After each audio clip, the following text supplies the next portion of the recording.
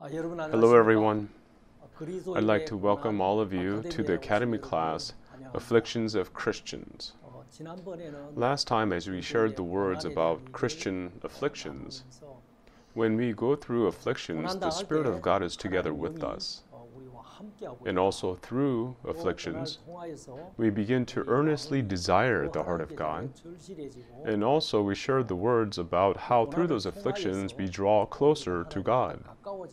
Uh, this time, I would like to speak about the benefits that comes from the afflictions of Christ. First, we will read from the book of Psalms 119, starting from verse 65. Thou hast dealt well with thy servant, O Lord, according unto thy word.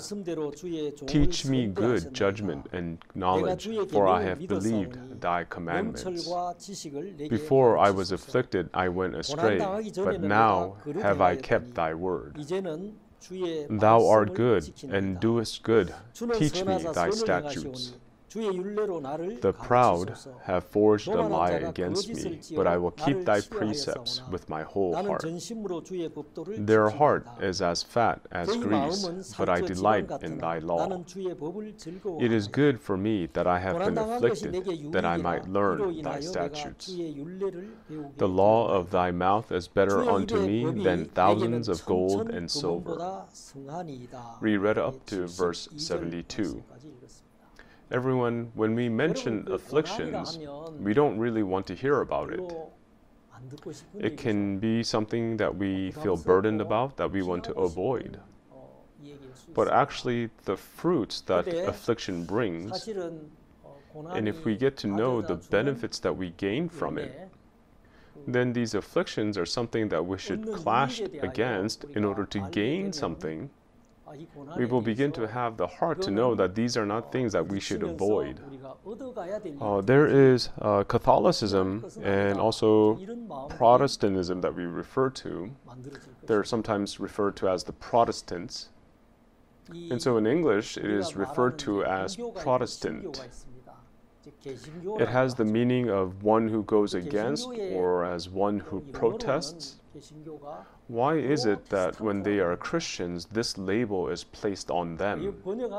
In the first churches, uh, the Christians, uh, they spoke just like Christ. And because they acted just like Christ, that was the label given to them. And so that sounds nice to hear. But then why were the Christians uh, divided between the Protestants and Catholics? And the reason they were labeled as Protestants, as Martin Luther uh, began the religious reformation. And so, with 95 theses against the, the Catholic Church, against Catholicism, with the 95 theses, he pushed for reform. Martin Luther was a man who really sought after God. He wanted to find any way to gain God and to receive salvation. That he gave penance, and that on his knees, as he climbed up the stairs that Jesus walked on with his knees, to the point that his knees were a bloody mess, this is a man who lowered himself and acted diligently. But it was still not resolved in his heart, that problem of sin. And also during those times, you could not acquire a Bible. Uh, they were in a situation where they, not, where they did not know exactly what the Word of God said. But one day, through a friend, uh, as he was able to acquire a Bible, he began to read the Word. As he was reading the book of Romans, chapter 1, verse 17, he came to the Word where it says, The just shall live by faith. And then he was shocked by it. Until now, he tried to make his, make his works good and to do good deeds and to not sin. And as he practiced penance in his life, this is how he tried to wash away sin. But now, from a completely different direction, it says that the just shall live by faith, or that the just receive salvation by faith. And so now, as he realized this truth, his eyes were opened. It means that he accepted that very precise life of Jesus Christ. From the moment that that word entered him, the world that he has been looking to was now all a lie. And so all the words spoken by the priest, the diocese, and even the pope were words that were so contrary to the Bible. And also, in order to wash away sin, as he saw that the sale of indulgences to receive forgiveness of sin, as he saw all these things that were nonsense, he could not continue the way he was. And so within his heart, the life that Luther received, because it couldn't just settle in his heart, he rose up and now he began to clash. Or uh, he went against them. A living fish does not just flow down with the flowing water, but because it has life, it's able to go against the current. As a result, Christians who have this power of life, it is very contrary to the worldly things Satan, the prince of the power of the air, the system that he has installed in this world, and the life, the power of life that Jesus possesses, and they are opposites, and so they have no choice but to clash. And as a result, Martin Luther began the religious reformation, and afterwards, the label that was given was the name Protestant, which means that there is life. And so, if you have life and you clash against it, then naturally afflictions will follow. Everyone, that affliction is truly an affliction that is valuable. And so, therefore, as Christians, as we go through afflictions, uh, the power of life from God is formed within it. And when we think about it now, how great of a blessing is it? We had the 500th anniversary of the Reformation three years ago in the year 2017. If at that time we did not fight that fight, then we would have to think that there would be no fruits who heard the gospel today. And that's why the uh, after the affliction, the fruits of God that come about, they are revealed as uh, tremendous fruits. And that's why Christians, through affliction, there are so many things that God wants to manifest. The power of Christ is revealed to those who are afflicted. And as we collide, it is revealed. But people today, they think, oh, good things are good. Uh, they just let things pass because they make compromises. But if you precisely receive the guidance of God's Word and of the Holy Spirit, to not clash, that is what is abnormal. Clashing is normal, and receiving afflictions is what is normal.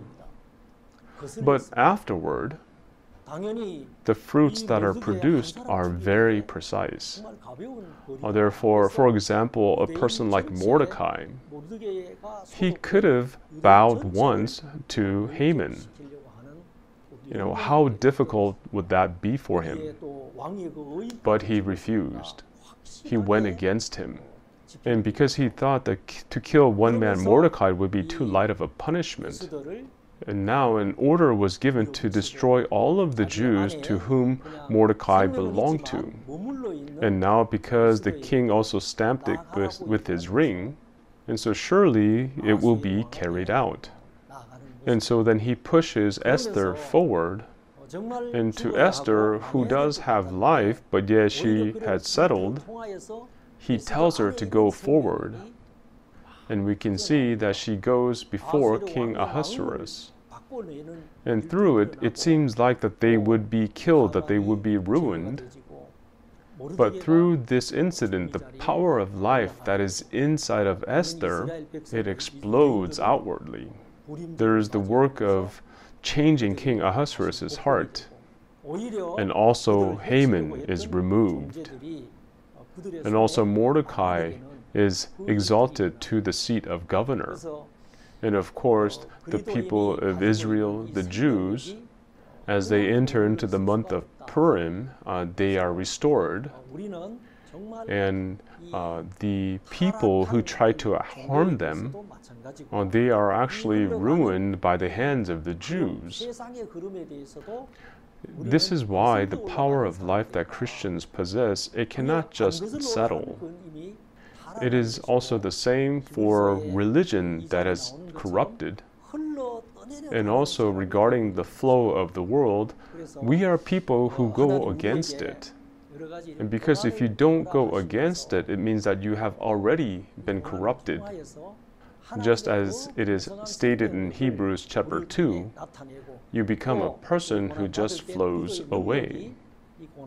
And so, as God permits unto us various afflictions, so that through these afflictions, God wants to reveal the great abundance of the power of life, and also when we are afflicted, to show us that Christ has the power to overcome afflictions. Through these afflictions, this is what is proved.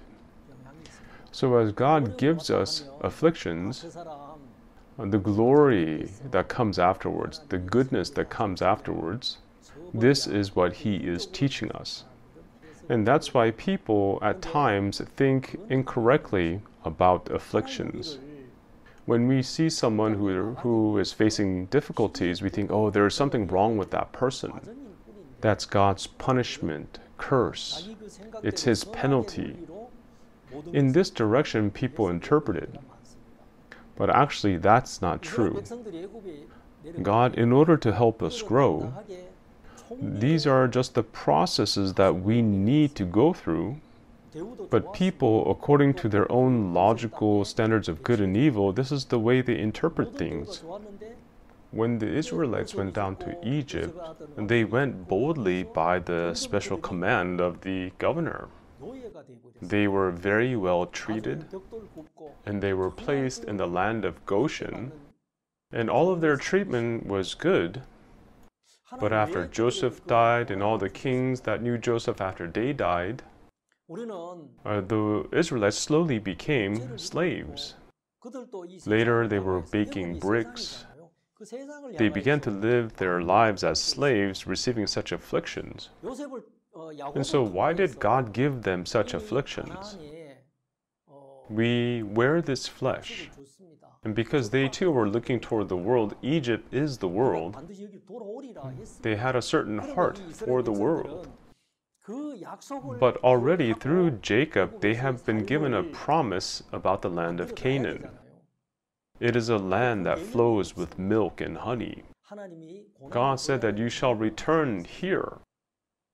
Then the Israelites should have remembered that promise.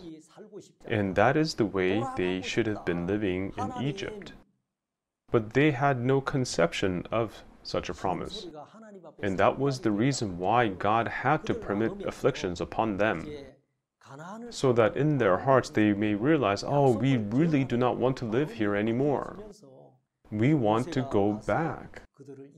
They cried out to God to the point that it said that their cries reached out to God.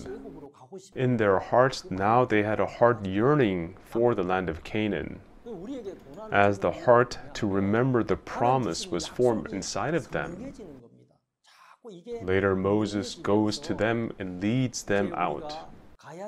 But even after being led out, when they faced the smallest of problems, a heart wanting to return back to Egypt still remained in them.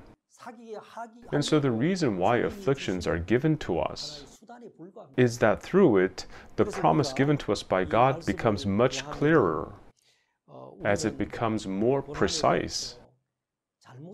And now the direction that we must go in is not to flow down together with the flesh, But as we resist the flesh, to go against the flesh, and in order to develop a deep relationship with God, this is a certain method that the Lord uses. And that is why when we regard the Word, we see that we incorrectly think about afflictions. But ultimately, regarding the width of our spiritual life, the depth, the height, and the length, he is trying to increase them. When we look in Ephesians chapter 3 verse 19, it says, "May be able to comprehend with all saints what is the breadth and length and depth and height, and to know the love of Christ, which passeth knowledge, that ye might be filled with all the fullness of God." It's saying, may be able to comprehend with all the saints what is the breadth and length and depth and height.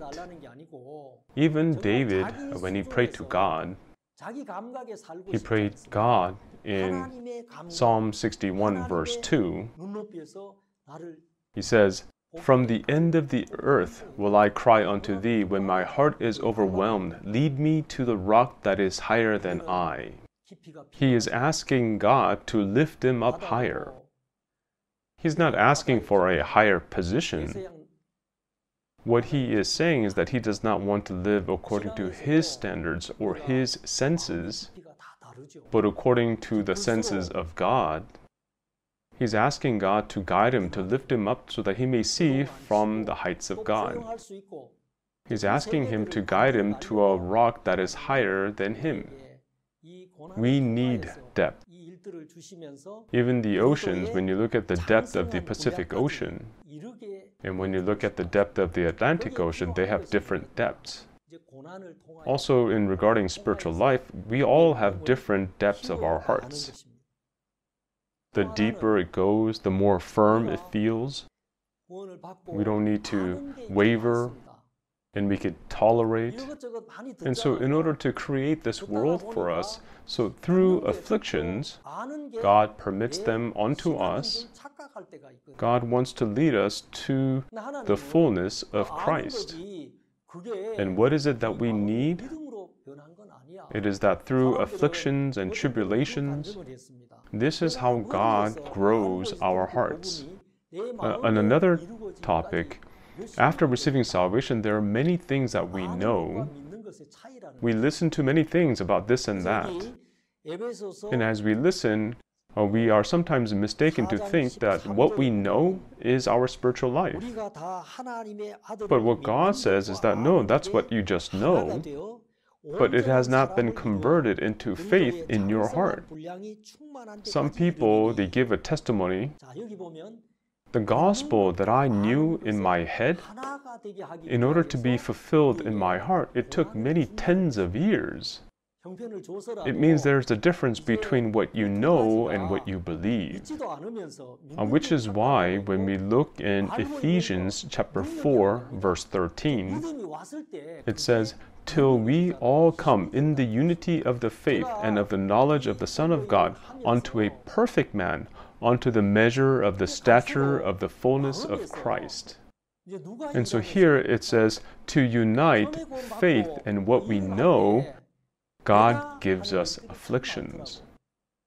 That even by giving certain circumstances, these two things that even though you don't believe, you're mistaken to think that you believe, uh, because what you know cannot be power to you.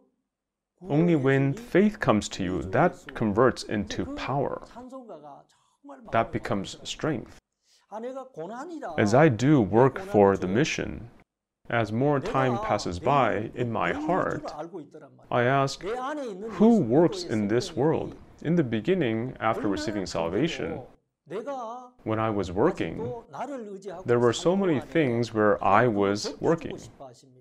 But one day, just as one of the hymns, when I carry that heavy burden alone and cannot help but to collapse, our Lord Jesus, who showed compassion to come and save me, that hymn really came and touched my heart. I thought, oh, this is affliction, but why was affliction given to me? Because I thought that the work in front of me was my work to do. The power of life of Christ in my heart, it was so great. But while I relied upon myself to live my life, what God was trying to do was try to peel that away. Only when the flask is shattered, you can smell the fragrance of the oil within. So, this is not the world where the flask is working. He had to change it to a world where that fragrant oil is working. And in order to do that, what was necessary was affliction. And so when you go through numerous afflictions, you realize, oh, it cannot be done through me. Uh, this mission, for me to preach the gospel, how can a person like me, through the strength of the flask, was I trying to do this work? You know, it would make no sense. And so when this was peeled away, I became so thankful. Ah, the Lord is going to work.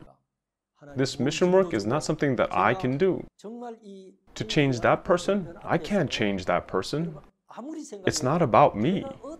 So as these things crumbled down, because I began to have hope in God who was going to work for me, everyone, even though it was the same work, I did not consider it as work anymore. That's why the Lord says, You who are weary and heavy laden, come to me, and I will give you rest. And so in the past, I just knew that. But what I'm saying is that those words were not just spoken without any meaning. It's saying that if you work, you will be wearied and it will become a heavy load. But pass it on to me.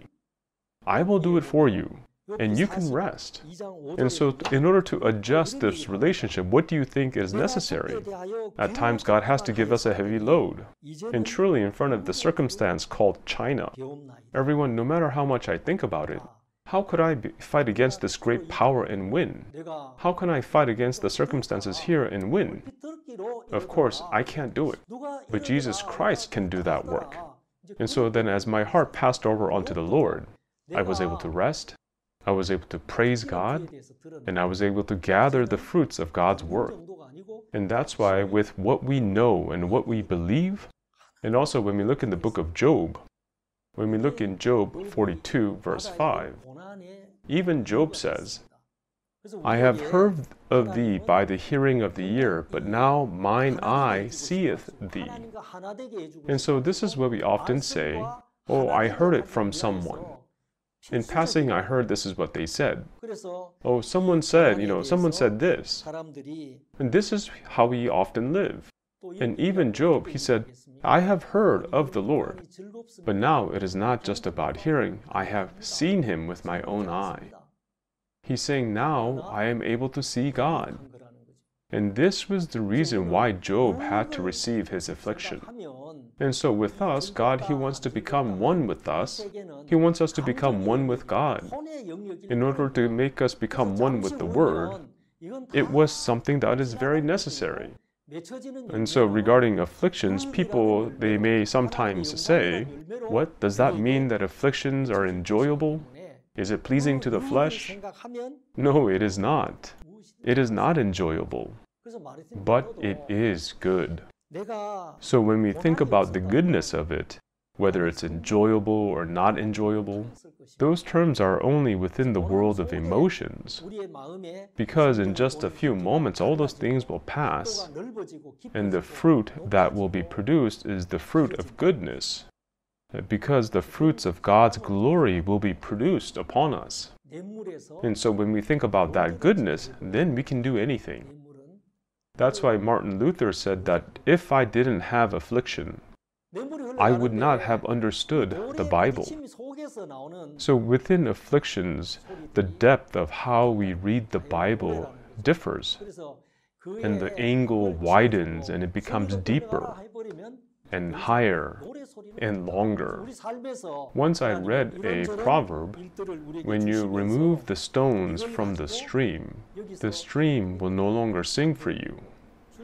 As the stream water flows, the sound of the water clashing against the stones, it's beautiful. It is the nature's singing. But if you remove the stones and say, oh, let the water flow smoothly, there will be no more singing. And that's why in our lives, God, He permits us various difficulties so that God may give us His things and for us to gain them.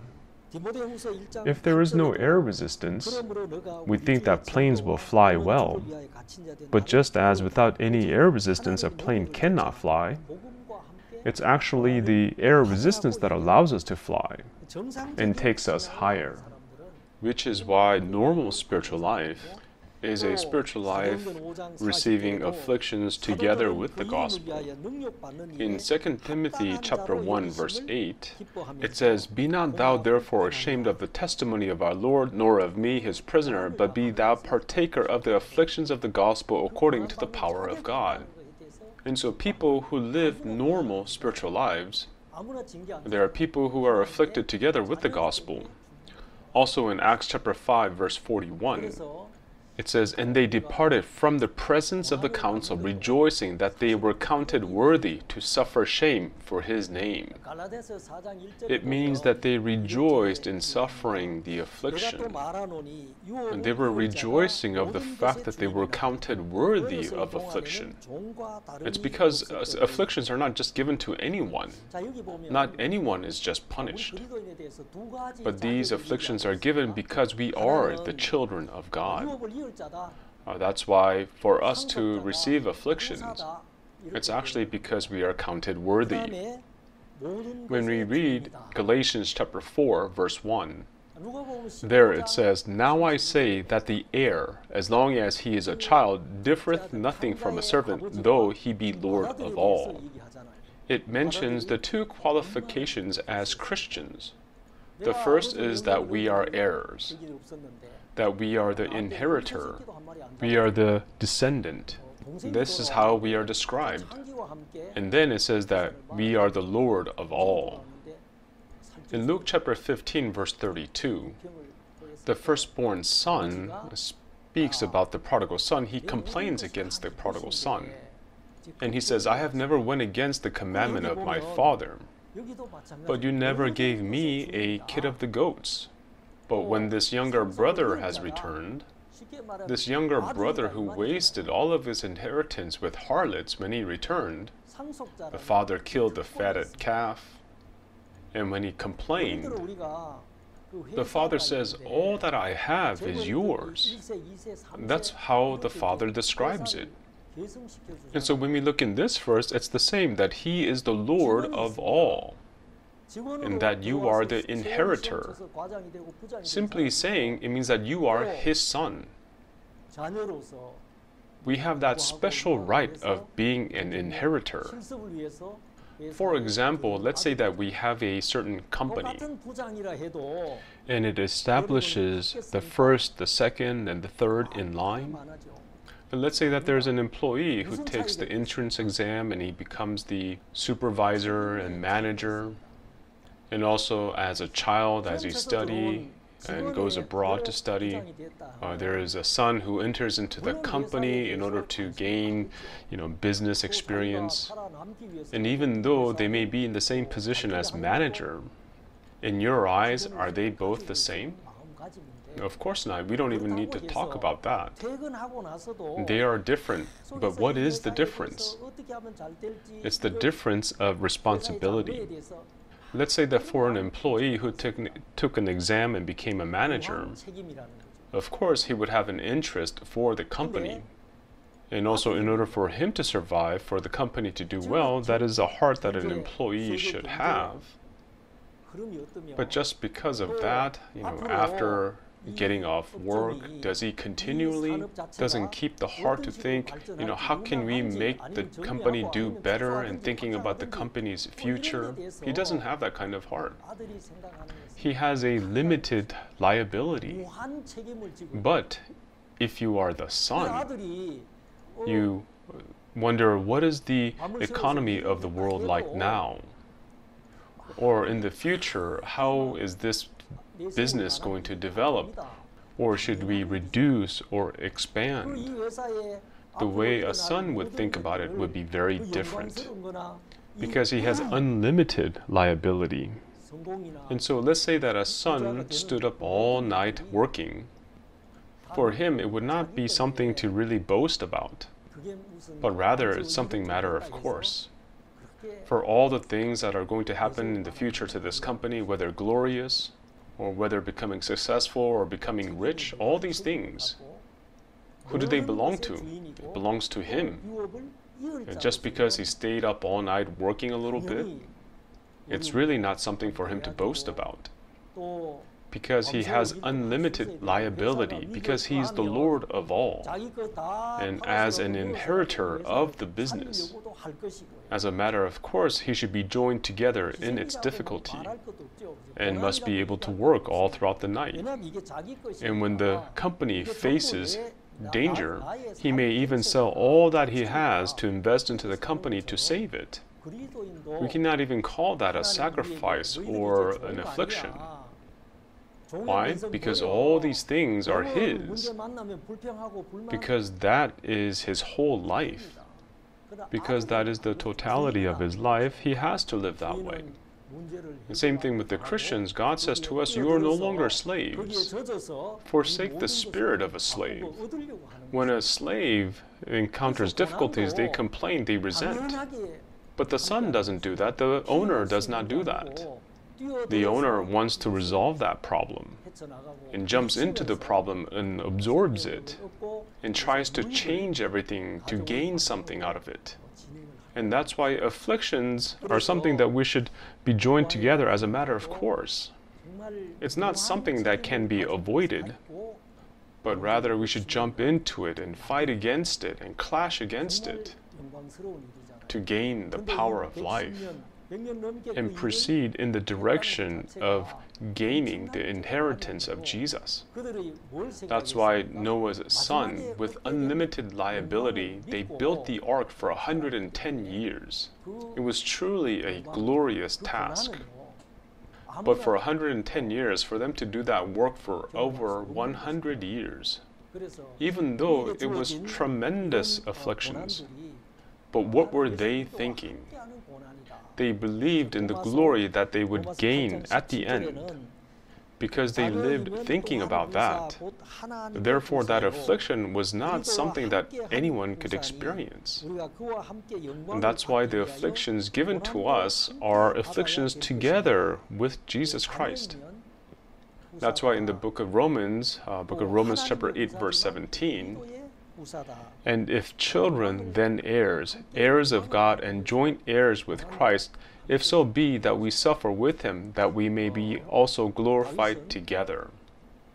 It's saying that if you are a child, then you are an heir. And says that you are an heir of God, but also joint heirs with Christ. That in order to be glorified together, we also are afflicted together. David, through the words in the book of Psalm uh, 119, David, he says, rather, he sings, Before I was afflicted, I went astray. But now, through the afflictions, he says, Now I have kept thy word. He's saying, Now no longer will I trust in my senses. He's not going to believe in his feelings or experiences. Now he said that he is going to keep the word of God, which means that the word is going to preserve David's life. That's why through affliction there were many things that he learned. He says he has learned the statutes of God. He learned the principles of the word. No matter what problem may arise, no matter what circumstance he may face, David learned that everything was going to be done according to the word. But previously, even though the word said so, but if in my eyes, if it seemed good, he went down that path. He says that he went astray. So it's through affliction he was able to put to an end the fleshly lusts, ambitions, and covetousness. And just like pure gold, everything is done according to the word. All of my judgments, they ended in ruin. David learned that only the judgment of the word will perfectly keep his life. And that's why in verse 71, it says, It is good for me that I have been afflicted, that I might learn thy statutes. Also in verse 70, it says, Their heart is as fat as grease, but I delight in thy law. Their hearts have grown fat, fat as grease, being only full of the flesh of the humanistic things, the emotional things. And they're completely filled with the fleshly things. But David, now all of that fat has been stripped away from him.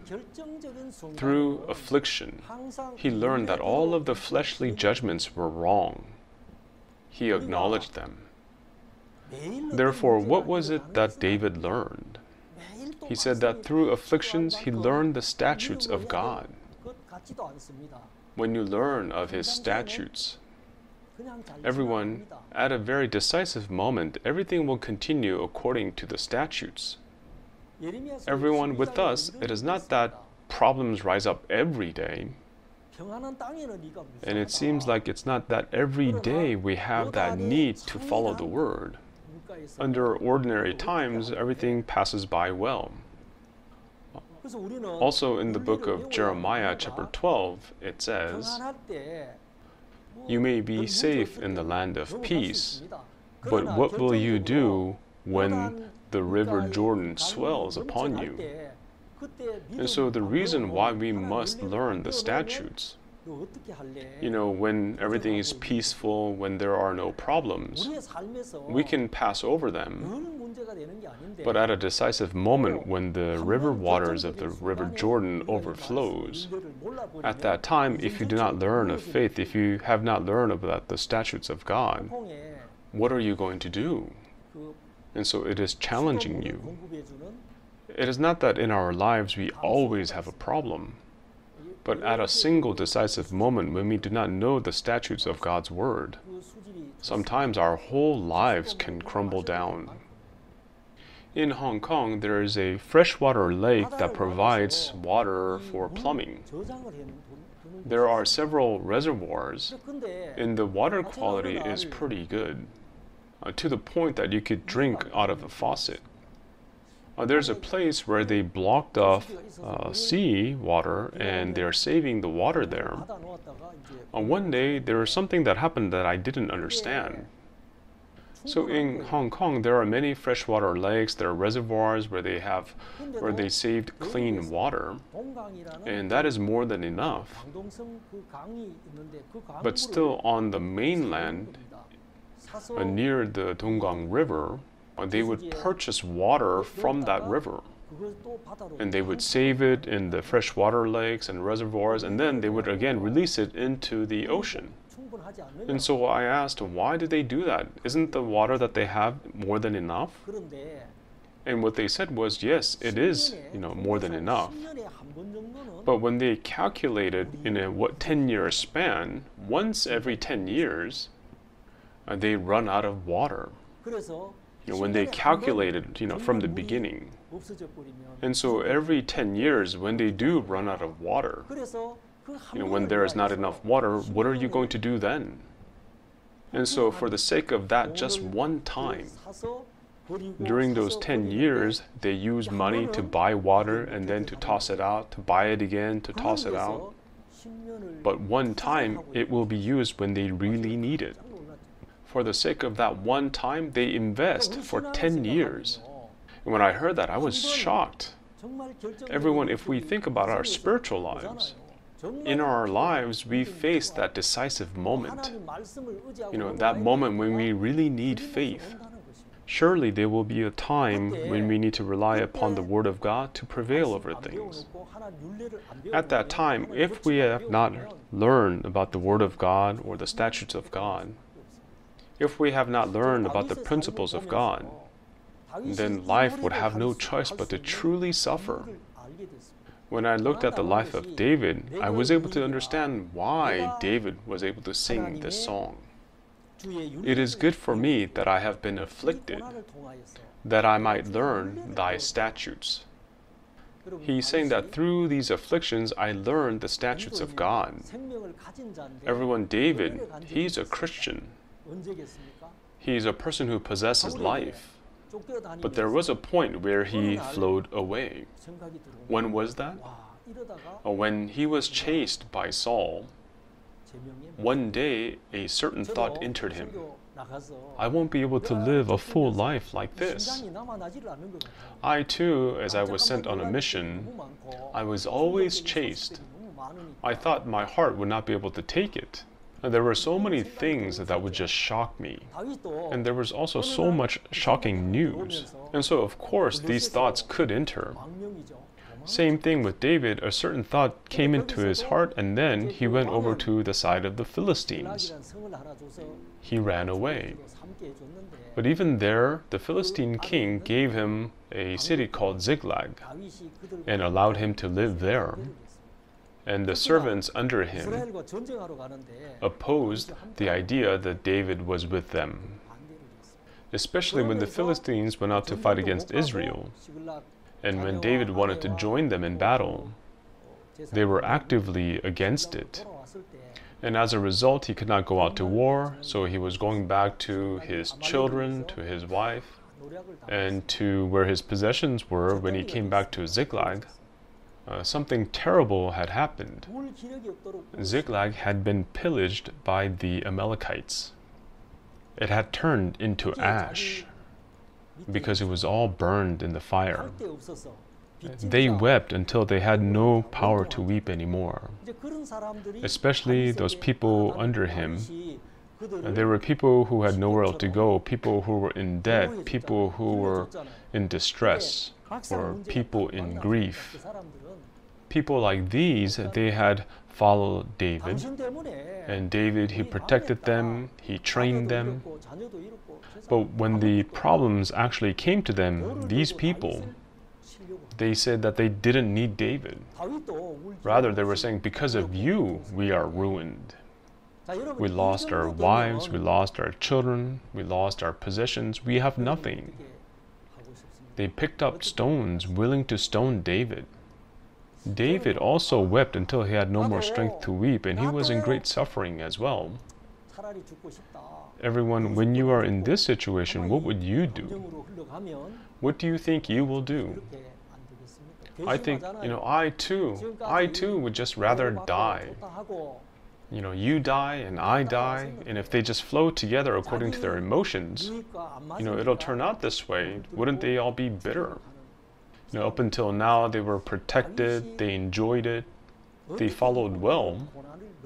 But now, because it was no longer profitable to them, seeing how these people wanted to kill David, we wonder how David was able to overcome this affliction. How did he overcome? He did not believe in the judgment of his flesh, he did not believe in his own heart. Why? It is because he learned the statutes. Always, when he thought that everything was going to come to an end, it was not the end. The senses of his flesh were telling him, now this is the end. This is where your life will end. Even though you were anointed, but one day you will die at the hands of Saul. So he had this kind of judgment. But it didn't turn out that way. Through afflictions, every time God protected him. And he was once hiding in a cave. How is it that Saul ended up sleeping at the entrance of the cave? God allowed him to fall asleep. One by one, he learned how God was protecting him through affliction. That's why when he judged for himself, there was nothing to depend on, there was nothing for him to wait on. And that would be David's conclusion. The conclusion that came from David's flesh was like this. But in that moment of desperation and despair, now at a moment where his body and his years would have come to an end, and in that situation, we have to see where the heart of David goes over onto. He goes to God to ask of Him. And so, what does this mean? So, in my view, no matter how accurate I think it is, but that is still not right. That is not something to trust in. That is just only my judgment. It's just my senses, my experience, my feelings. But when we go before God, it is different. That's what he had. He learned something that was so precious. He learned the statutes of God and he asked of God. He said to bring the ephod, to put on the clothing that the priest would wear. He goes in front of God and asks, God, if I pursue after them, will I overtake them? What do you think God said? It's too late. That's not what he said. Instead, God says, Thou shalt surely overtake them, and without fail recover all. And so David, following after that statute of God, and so he pursues them. And he doesn't do it by force. Those who are tired and without strength, he allows them to rest. And that Egyptian young man that was forsaken, even though he's so busy, he heals him. Why? Because the word of God said that he will recover all. That's why he doesn't hurry. It seems like the Egyptian young man is not needed, but yet he saves him. But this young man is the one who guides them to the Amalekites. And what is it that David really learned? Did he make money? Did he prop up his background? Or did he make some personal connections? He did not do anything like that. But if there is something that he did learn, he says that I have learned his statutes. I too uh, was dispatched in 1994 and I went to China. Uh, in my heart, I was truly thankful and it really uplifted my heart. But only within five months, I was arrested. I had just started preaching the gospel, and we had about three different services, three different gatherings. And brothers and sisters would come visit at my home, and I would go visit them. And as I would go on witnessing trips, also learning Chinese, it was a time of great hope. But within five months, I was captured, I was arrested, I was punished and then I was deported. And I was really resentful toward God. God, it's not that I was doing something else, but I was preaching the gospel, but you couldn't protect me from doing that? Were you not able to protect me from doing that? That's the kind of heart that I had. At times I cried, I was so bitter and I was so disappointed because I thought that, that I could never return. You know, it was something really hard for me to digest. But everyone, do you know what happened afterwards? Less than one month later, I was able to return. At that time, the pastor who was my teacher, he said, This time I am going to go with you. And so I was really surprised. You know, I had just become deported and everything seemed so down. But Pastor Park said, I will go with you. And so I did not know how to prepare for it, but in the end, we really went together. And that is how we had the first week of the retreat. 183 people attended. Uh, so many people were really led by the word.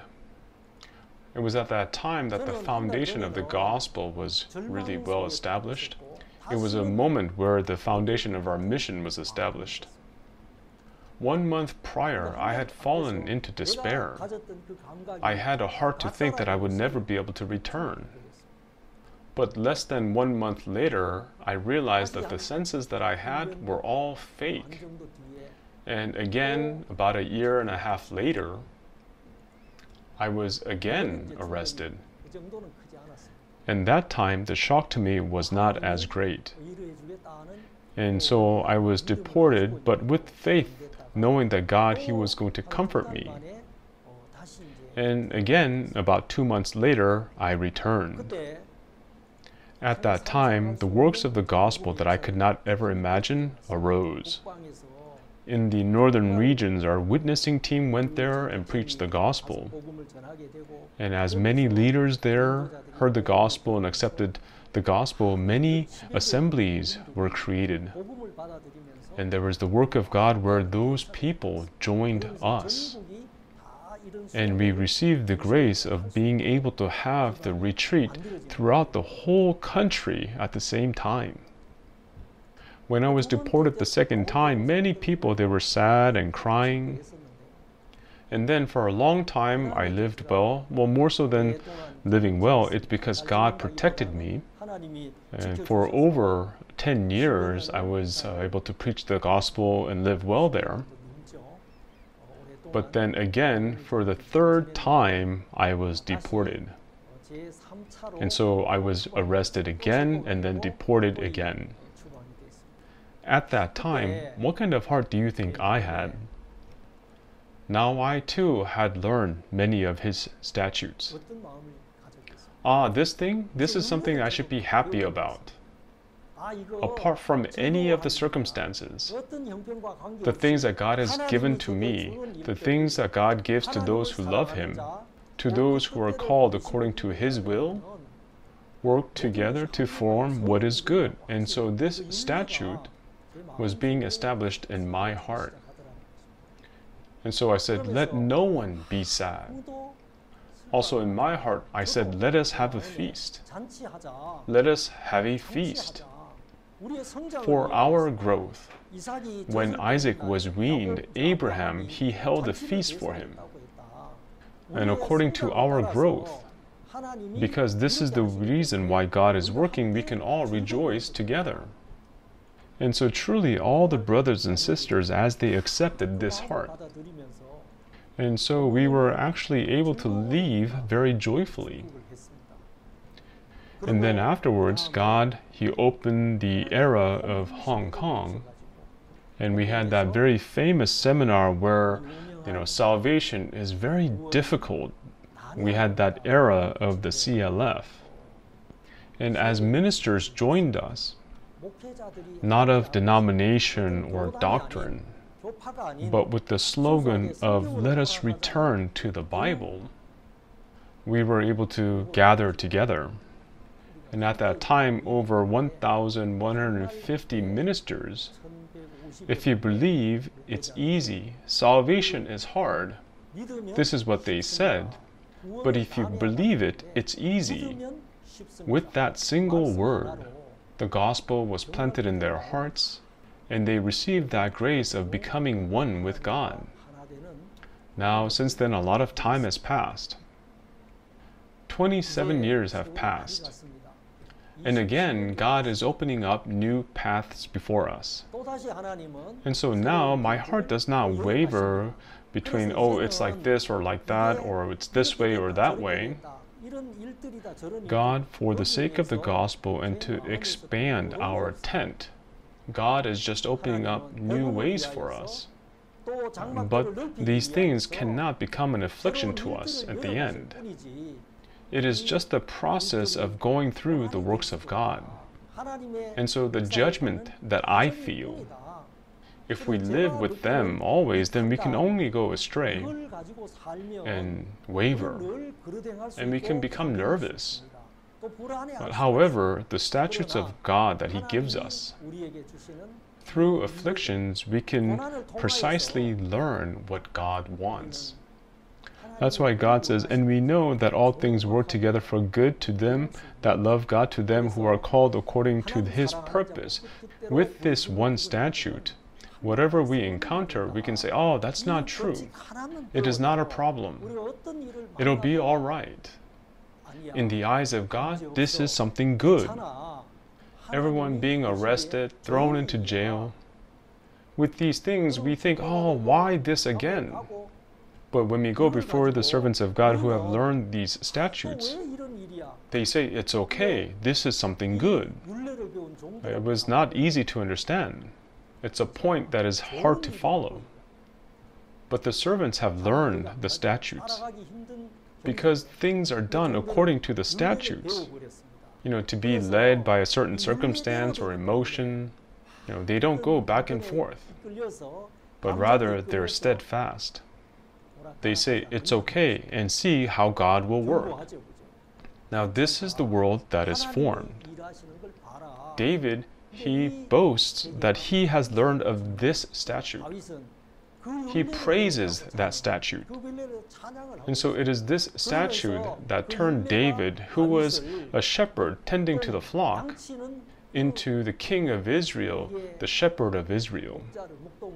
And so at that decisive moment, David, who had learned this one thing, he became king. But Saul, he did not learn of the statute. He just wanted the circumstances to pass. He just wanted the problems to disappear. Everyone, what's important to us is for us to learn the statute. But to change the circumstances, and that is not important at all. Because these are things that have to happen anyway. And so, in this way, as God leads us, in our hearts, God wants to establish His world. And so He wants to establish His statutes and, His principles. That's why David says, It is good for me that I have been afflicted, that I might learn thy statutes. Just as it is engraved in David's heart, also in our hearts and in my heart. The words that God has given us in each time that we face difficulty, may they be alive in our hearts to the extent that they don't need to be in the Bible anymore, so that we may say, Ah, God is going to work. This is the work of God. For these things to remain and for them to become power in our lives, and just as it held on to me for him to say that I kept thy word, you know, the word became power to hold on to me. Everyone in your lives, there's something that you must learn. You have to learn the statute. And some people, even when they make an instinctive decision, at times I think it's so tragic. Oh, if that person has learned the statute, even though in that person's view there is a despair that he cannot recover from, but that is only his senses. That is only your judgment. If they're able to overcome that just one time, that suffering, that difficulty, that bitterness, that lowliness, he will be able to prevail over all of them. Could you not go forward to gain a new world? So, therefore, what Christians must learn is the Lord's statute. And if you learn that, no matter what we encounter, we are more than able to overcome. Everyone, I'd like to thank you for joining us. And today we will stop the word here. Thank you very much.